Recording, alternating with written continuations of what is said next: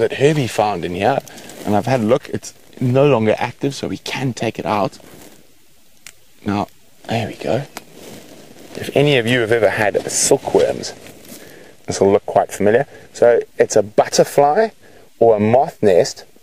Now, I think that this has been attacked. So you can see there's a hole. Uh, normally, if it had come out by itself, this top little thing would have opened and the whole animal would have crawled out.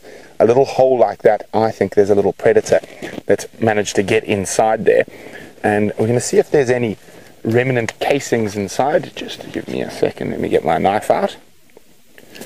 And I think we're going to go with the skizzers today for opening this one up. A little bit more delicate than using a big blade. There we go. Make sure we don't lose anything from inside. So there we go. Look at that. So as I said, there's that little uh, cocoon and it's been attacked by what looks to be a little spider. So it is dead. And that little parasite or, or predator has made a hole in there and then come inside and literally eaten. I'm going to open up. Let's just try to get the thing out. Whoopsie. Oh, shame. So normally, there we go. A little bit lower. A little bit lower. You can see, look at that. Now, normally this would obviously be moist and whatnot. So that, that little predator has gone, you can see the wings starting to form. So it wasn't too far from coming out, but now you can see, if I break here, the whole inside has been eaten by something.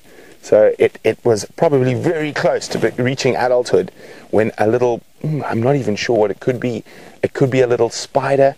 It could be any little insect that has managed to burrow inside there and eat the whole thing. Isn't that absolutely amazing? And you can, I mean, look at this. The wings were starting to form even.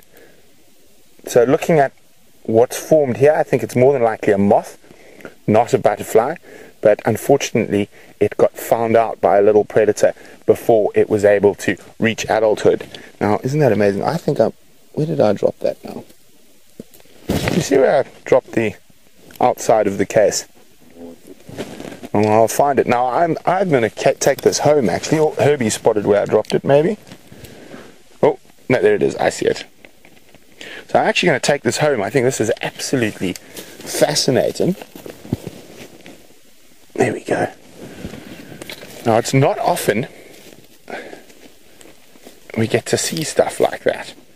And normally, if this had if this had been closed, I wouldn't have opened it at all because it meant would mean that the little critter was still alive inside. But isn't that uh, absolutely fascinating? Now, as fun as it is looking at these gorgeous little things like this, James